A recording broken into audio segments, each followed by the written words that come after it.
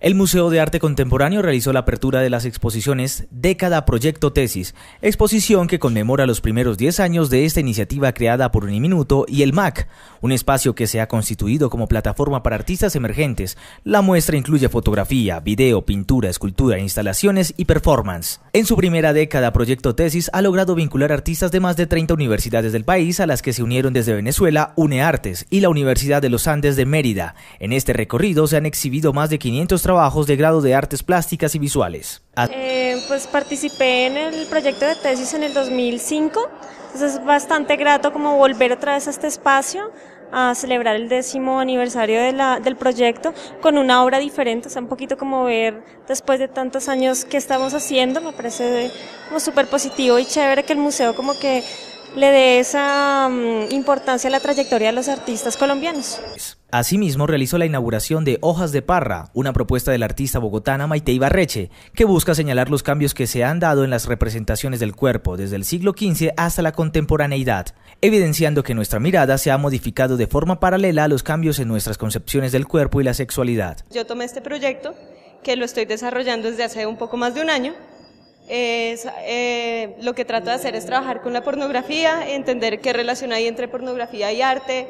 cómo nuestra mirada eh, se ha acostumbrado a ver cosas que antes no estábamos acostumbrados a ver, y más o menos de eso se trata.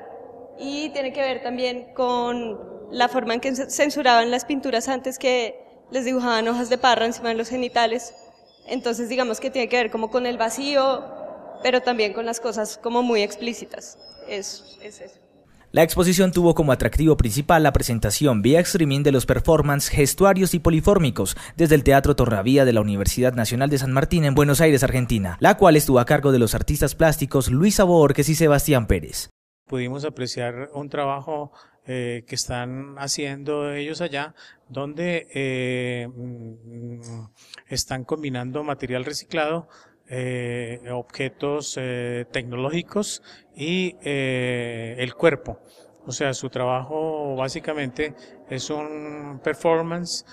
donde el cuerpo se vale de una serie de prótesis que también están intervenidas